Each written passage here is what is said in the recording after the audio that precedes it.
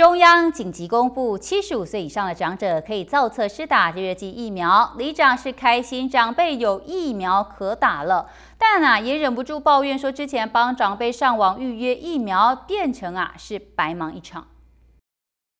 中央紧急公布，七十五岁以上长者可造册施打 A Z 及莫德纳疫苗。中秋连假期间，里长马不停蹄前往公所领取通知单，并挨家挨户投递，让长辈都能顺利打到疫苗。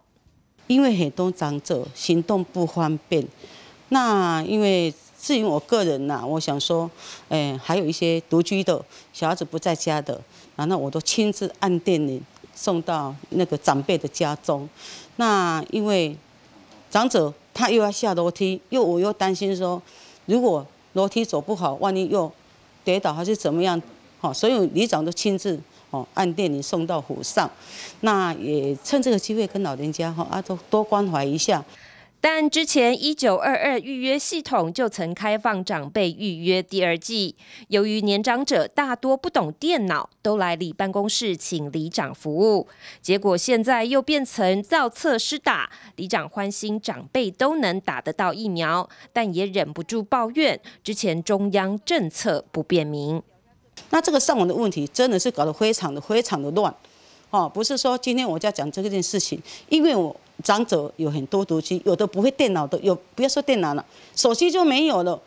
啊，你这个手机号码，他们怎么登记啊？家里电话又不能用，那只有一个好多个里民，有个长辈要用到里长的手机，也要有限呐。哦，所以说我想说，像中央这个问题，我是说尽量能做个好的改善，也不要累到某个单位或者是我们里长每个里长，哦这样子的，就是很冲突的啦。